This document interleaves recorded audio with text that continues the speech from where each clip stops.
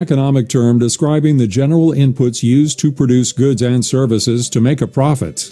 Under the classical view of economics, the factors of production consist of land, labor, capital, and entrepreneurship. Land refers to the land itself as well as the raw materials that come from the land. This includes timber, coal, precious minerals such as gold, and water. It can also mean the physical area on which a factory sits. Labor refers to the workers who answer the phones, lift the pallets, drive the trucks, push the paperwork, and do all things physical and intellectual to keep a business running. Capital refers to the buildings, machines, and tools used in the process of production. Capital is anything from a fleet of delivery trucks to a factory building to a printing press or a computer.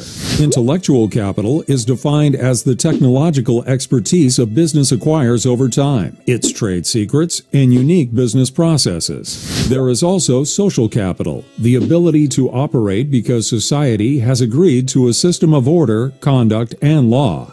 These elements facilitate an economic environment that allows the business to operate. Finally, entrepreneurship is the factor of production that ties the other three together. The entrepreneur provides innovation and creativity in the use of the other factors, which helps create a profitable business. For simplicity and analytic purposes, economists and analysts usually focus attention on two main factors capital and labor. The relationship of both these factors and a company's output is referred to as the production function.